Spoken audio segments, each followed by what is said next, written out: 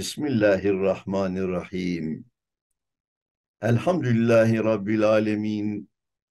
Ve salatu ve selamu ala Resulina Muhammedin ve ala alihi ve sahbihi ecmain.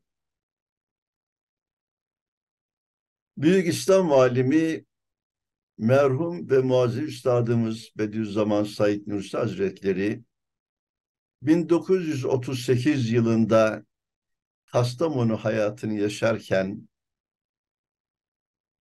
adına Ayetül Kübra dediği bir eserinde kainatı hallaç pamuğu gibi atarak her şeyden, her yerden, her mevcuttan, her varlıktan Cenab-ı Hakk'ın varlık ve birliğini ispatlayan delilleri ortaya koymuş.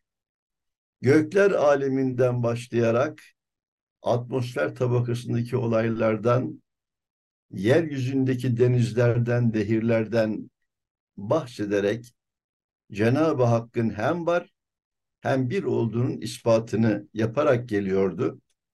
Bu akşam Ayet-i Kübra Risalesi'nden kaldığımız yerden dersimizi birlikte paylaşmaya, feyz almaya, istifade etmeye devam edeceğiz.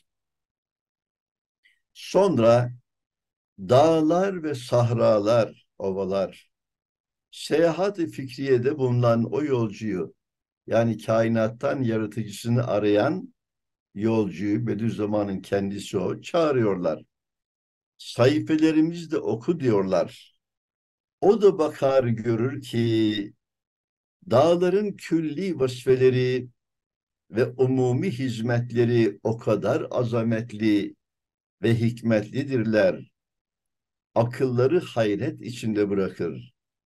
Mesela dağların zeminden emr Rabbani, Allah'ın emriyle çıkmaları ve zeminin içinde inkılabat-ı dahiliyeden dünyanın karnındaki mağma tabakasındaki dahili basınçlardan, değişimlerden neşet eden meydana gelen heyecanını ve gazabını ve hiddetini çıkmalarıyla teskin ederek sakinleştirip zemin o dağların yani yanar dağların fışkırmasıyla ve menfeziyle teneffüs edip nefes alıp zararlı olan sarsıntılardan ve zelzeli muzurradan zararlı zelzelelerden kurtulup vazifeyi devriyesinde sekenesinin üstüne yaşayanların istirahatlerini bozmuyor. Demek nasıl ki sefineleri denizde yüzen büyük gemileri sarsıntıdan vikaya korumak ve muvazenelerini, dengelerini muhafaza için onların direkleri üstünde kurulmuş. Öyle de dağlar zemin sefinesine, dünya gemisine bu manada hazneli direkler olduklarını Kur'an-ı Mucizül Beyan vel cibale evtada ve elgayna fiha ravasiye vel cibale ersaha gibi çok ayetlerle ferman ediyor. Yani vel cibale evtada demek Nebe suresi 7. ayeti dağları birer kazık yapmadık mı? Yani kazık direkt yapmadık bu dünyaya. Vel gayna fiyâ revasiye onda sabit dağlar yarattık. Bu da Kaf suresi 7. ayet. Vel cibale ersaha dağları sapasağlam dikti. Bu da Naziat suresinin 32. ayet kelimesi oluyor.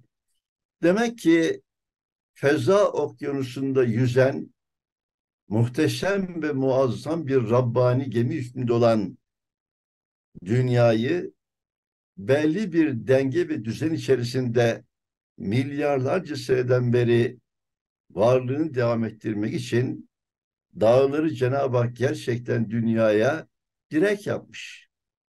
Bir kısmını da yanar dağlar şeklinde yaratmış.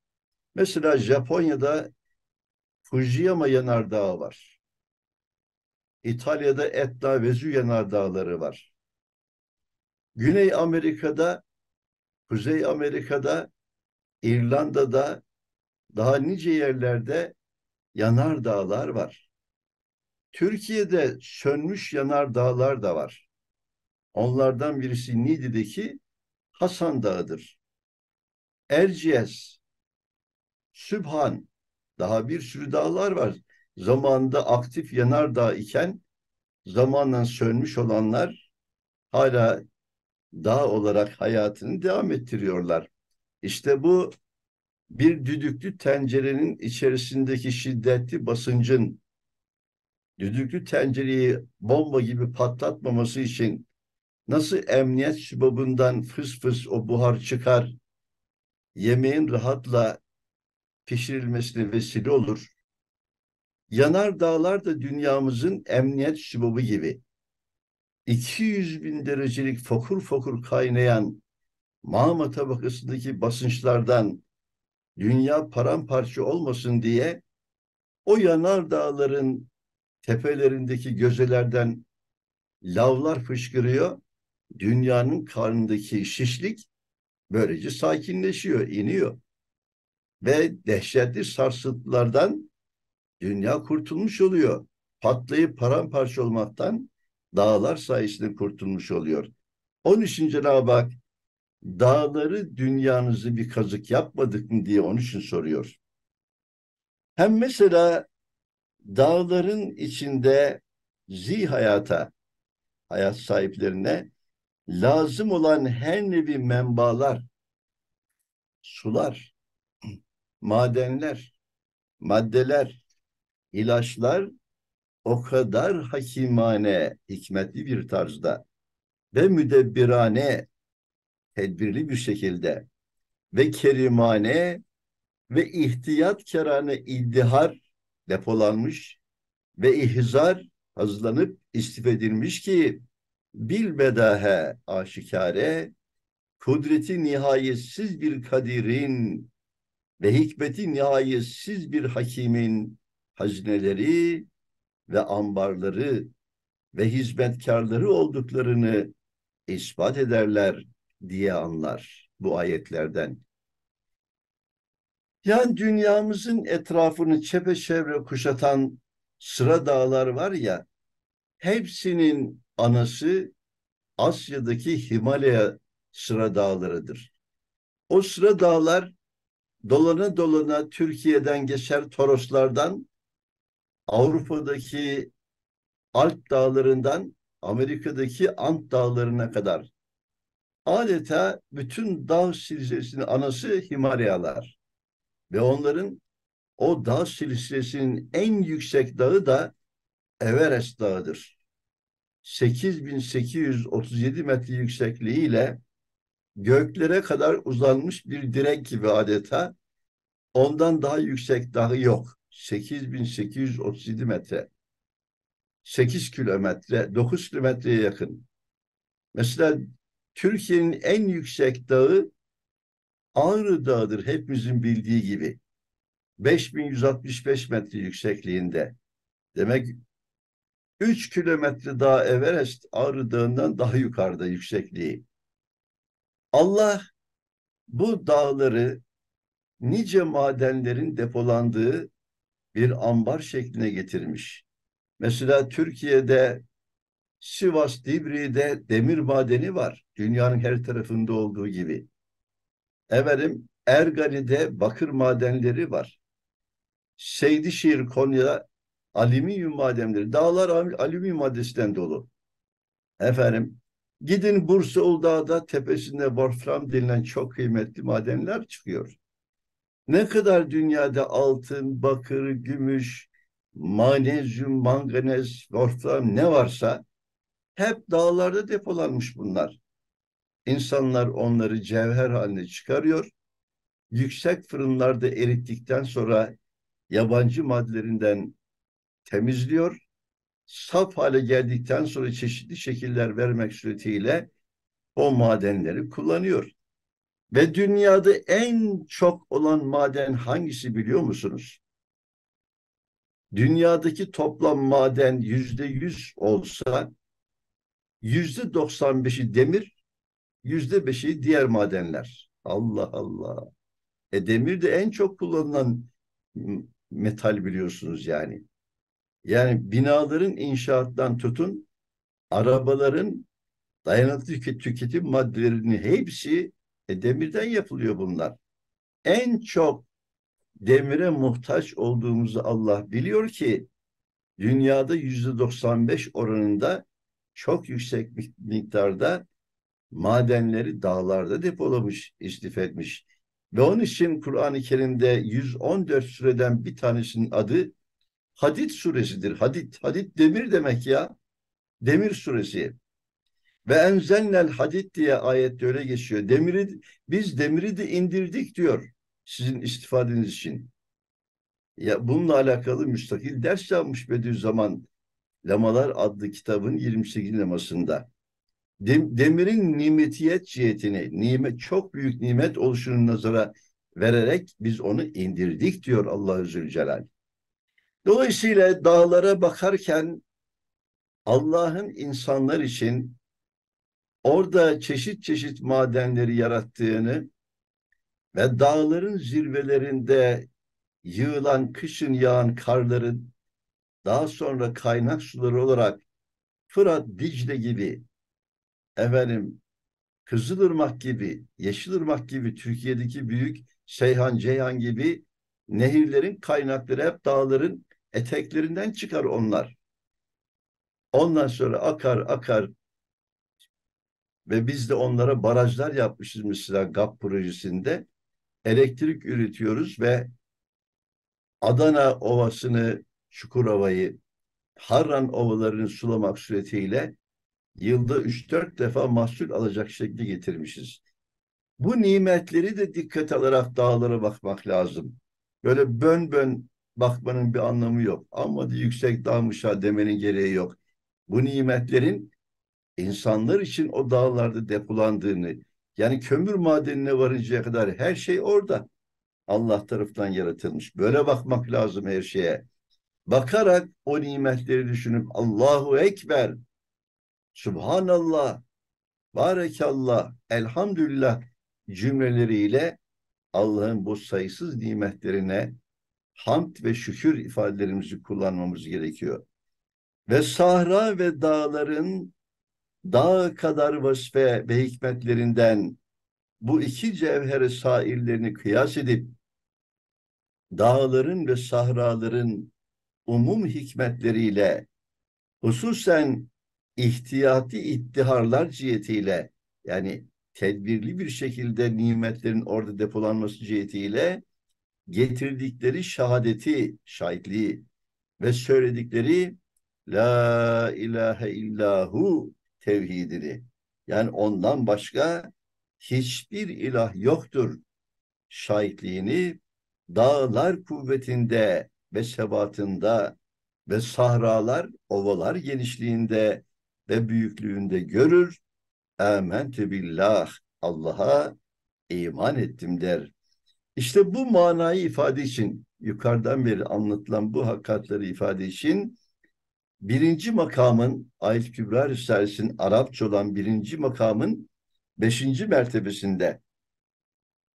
La ilahe illallahul vacibül vücudillezî delle ala vücubi vücudi cemi'ul cibali ve sahara bi cemi ma ve ma aleyha bi şehadeti azameti ihatati hakikatil iddihari vel idareti ve neşril büdûri vel muhafazati ve tedbiri vel ihtiyat ihtiyatiyeti rabbaniyetil vasiyatil ammetil muntazametil mükemmele bil müşahadet denilmiştir. Yani yukarıdan bir üstadın anlattıklarının Türkçe mealini vermişler bir de altında onu da okuyalım. Allah'tan başka hiçbir ilah yoktur. O öyle bir vacibül vücuttur ki bir müşahede görünen vasi, geniş, umumi, muntazam ve mükemmel Rabbani ihtiyat maddelerini iddihar, depolamak, idare, tohum ve çekirdeklerinin neşri yayılması, muhafaza ve tedbir hakikatlerinin azameti ihatasının şehadetiyle bütün dağlar ve sahralar ve bütün içindekiler üzerindekilerle beraber onun vücubu vücuduna Allah'ın varlık ve birliğinin zaruretine delalet eder, şahitlik ederler anlamındaymış.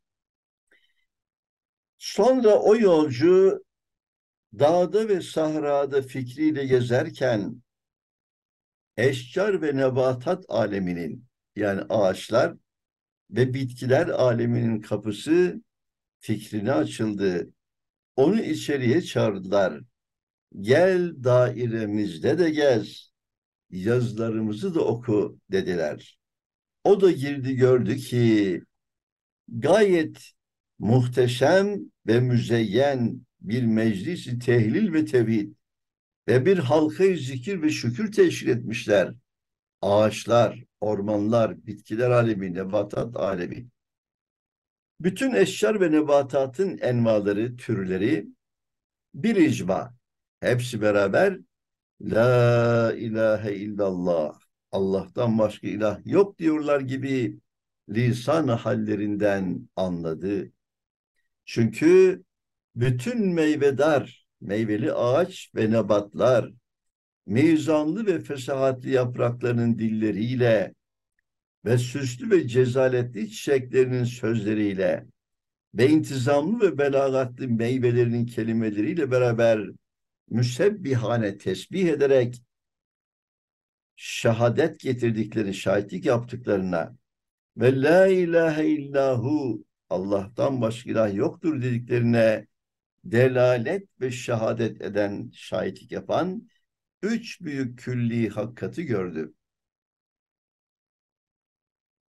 Birincisi tek zahir açık bir surette kasti bir inam nimetlendirmek ve ikram etmek ve ihtiyari bir ihsan ve imtinan manası yani ihsanda bulunmak, yedirip içirmek manası ve hakikati her birisinde hissedildiği gibi mecmuunda bütününde güneşin zuhurundaki ziyası gibi görünüyor. Ya odun parçası olan kiraz ağacının dallarına incecik sapıyla bağlanmış kirazlara baktığımız zaman onları bize ikram etmek isteyen perde arkasında sonsuz bir kerem sahibi olduğunu anlamayan insan nasıl insan olabilir ya? Kayısılar, ondan sonra zerdaliler, erikler, şeftaliler, armutlar, ayvalar, şunlar bunlar. Yani odun parçası ağaç dallarına incecik sapla bağlanıp bu nimetlerin bize ihsan edilmesi, ikram edilmesinden anlıyoruz ki perde arkasında bir muhsin, bir mükrim yani ihsan eden, ikram eden bir zat var olduğuna bütün bu meyveli ağaçlar şahitlik yapıyor. İkincisi tesadüfe havalesi hiçbir ciheti imkanı olmayan kasti ve hakimane bir temiz ve tefrik yani birbirinden ayrılarak yaratılıyor onlar. İhtiyari ve rahimane bir tezin ve tasvir manası ve hakikati o hadsiz enva ve efratta gündüz gibi aşikare görünüyor ve bir saniye hakimin eserleri ve nakışları olduklarını gösterir. Ya bir tarlaya buğday ekiyorsunuz. Yani altın sarısı o tarlaların buğday başaklarının arasında yabani ayrık otları var. Ya onlar da kendi neslini devam ettirmek için arada onlar da çıkıyor. yani bu kadar buğday, buğdayın arasında ayıp olmasın. Biz de buğday verelim diyen yok. Herkes kendi aslını, neslini devam ettirmenin peşinde. Ya öyleyse tabii ve tesadüfi bir şey yok. Yan yana olan tarlalarda kimisinde buğday var, kimisinde arpa var, kimisinde yulaf var, kimisinde mercimek var, kimisinde nohut var. Sayın sayabildiğiniz kadar baklagiller bunlar, tahılgiller ya da yani hepsi birbirinden farklı bir şekilde yaratılıyor ve aynı topraktan, aynı sudan, aynı havadan, aynı güneş ışığından bu kadar birbirinden farklı şeylerin yaratılıyor olması hikmetle iş gören bir sanatkar olan Cenab-ı Hakk'ın varlık ve birliğine güneş gibi parlak şahitlik yapıyorlar. İşte Rısa'nın gözlüğüyle bakanlar bunu anlıyor. Almadı bu sene mahsulümüz bol diyor adam. Allah bol buğday vermiş ya da bol fındık vermiş, fıstık vermiş, zeytin vermiş. Vermiş ama bu sene mahsul bol deyip Allah unutuyor. Tabiat tesadüften olan biten şeyleri izah etmeye kalkıyor. Öyle olur mu canım? Allah Allah. Sen bütün Allah'ın yarattığı mahlukata Allah namı hesabına bakar da Allah'ın varlık ve birliğine bunlar delil teşkil ediyor dersen bu bakış manayı harfiyle bakış olur ki sana bu bakış aynı zamanda sevap kazandırır. Hem mahsulü toplarsın hem Allah'a şükrünü arttırırsın hem Allah'a olan imanın parlar. Manayı ismiyle bakarsan Allah'tan bağımsız bunları düşünürsen tabii tesadüfi olayların sonucu bunlar oluyor dersen o da seni dinsizliğe sürükler Allah korusun. Evet.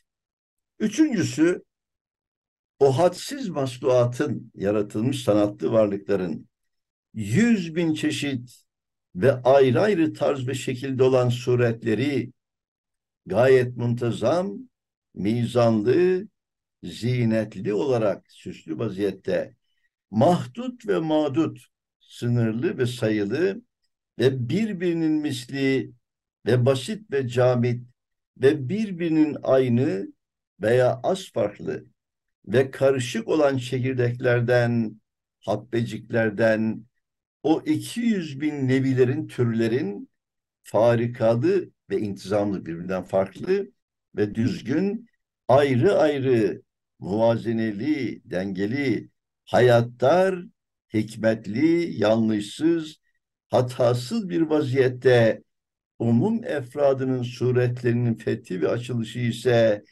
öyle bir hakikattir ki güneşten daha parlaktır. Yani Cenab-ı Hakk'ın yarattığı mahlukatın temel maddesi ne biliyor musunuz? Ya çekirdektir, ya tohumdur, ya yumurtadır, ya da nutfe suyudur. Bak dört tane temel madde. Bu dört temel maddenin de altında dört unsur var, element var. Nedir o? Hidrojen, oksijen, karbon ve azot. Hepsinin temel maddesi bunlar işte. Yumurta olsun, çekirdek olsun, efendim, hububat olsun, nutfe olsun. Hepsinin aslı bu. Hidrojen, oksijen, karbon ve azotun muhtelif oranlardaki karışımı onlardan yaratıyor Cenab-ı Hak. 400 bin bitki ve hayvan türlerinin temel maddesi olan bu saydığım dört unsur var ya bunlardan Cenab-ı Hak 400 bin nebatat ve hayvanat türlerini onların alt cinslerini ve katrilyonlarca sayısız fertlerini işte onlardan yaratıyor. Bu tablo Cenab-ı Hakk'ın varlık ve birliğine güneş gibi parlak bir delildir, şahittir diye üstad onun için söyledi burada. Ve baharın çiçekleri ve meyveleri ve yaprakları ve mevcudatı sayısınca o hakikati ispat eden şahitler var diye bildi. Elhamdülillah ala nimetil iman dedi.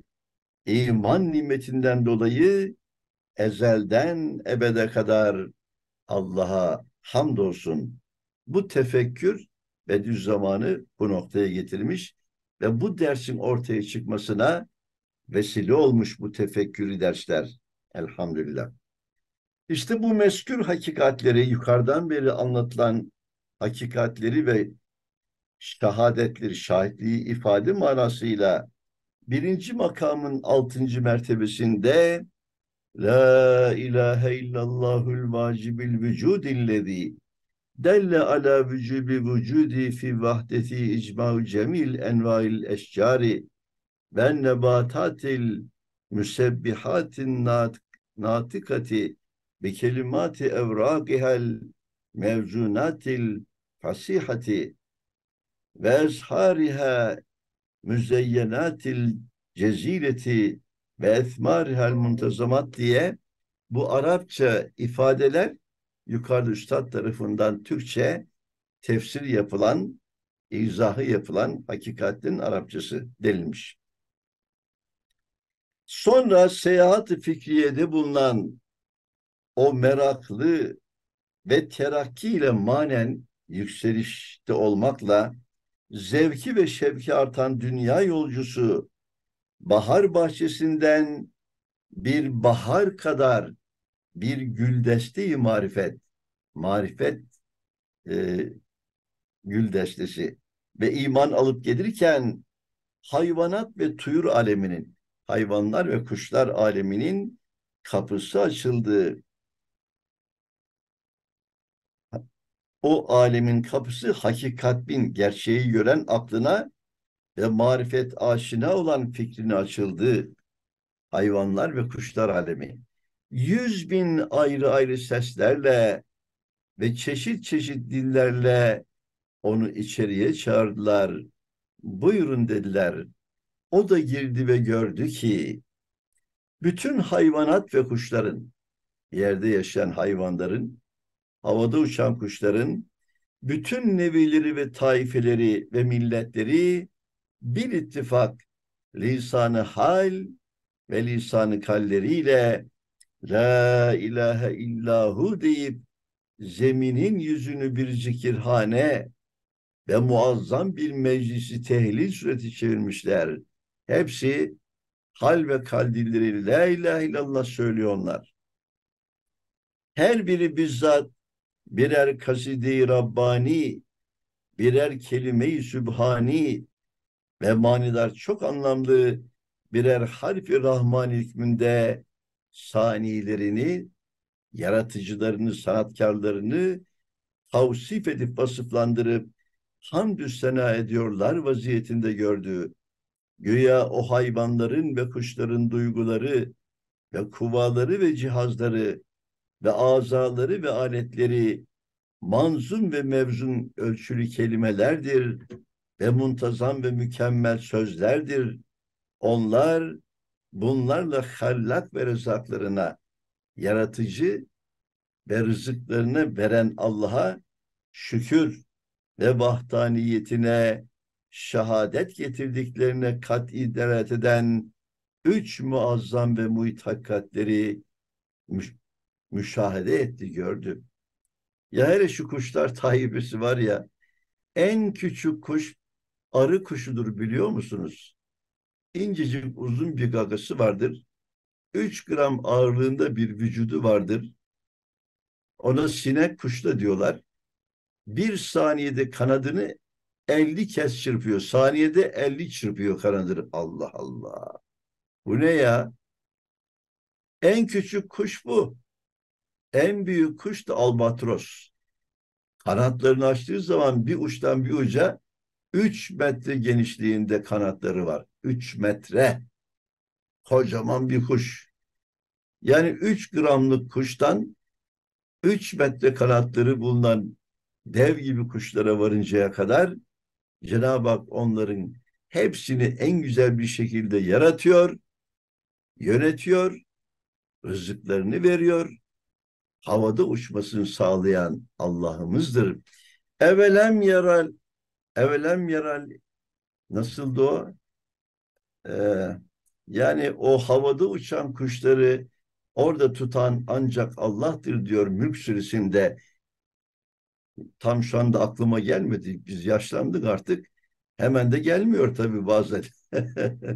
ee, öyle yarattı ayrı fevgum safatin diye devam eden bir ayettir o. Yani onları havada tutan Rahman olan Allah'tır diyor ayetin meali. Ya o kuşlar kendi kendine uçuyor değiller. Onları o şekilde cihazlandıran, kanatlandıran, duygular veren, göz veren, gaga veren, pençe veren Allah aynı zamanda havada tutuyor. Hem de rızıklarını onlara çeşitli şekillerde ihsan ediyor. Evet, burada üç muazzam ve muhit hakikatleri müşahede etti. Cenab-ı Hakk'ın varlık ve birliğine hayvanlar ve kuşlar taifesi şahitlik yapıyor dedi. Üç cihetle o şahitliği söyleyecek ama ben baktım şu anda saatimizde tamam olmuş. Burada bırakalım. Yarın akşam inşallah kaldığımız yerden birlikte bu dersi kavramaya, anlamaya, feyz almaya devam ederiz. Sübhaneke la ilme illa ma allemtena inneke entel alimul hakim ve ahiru davahum enilhamdülillahi rabbil alemin.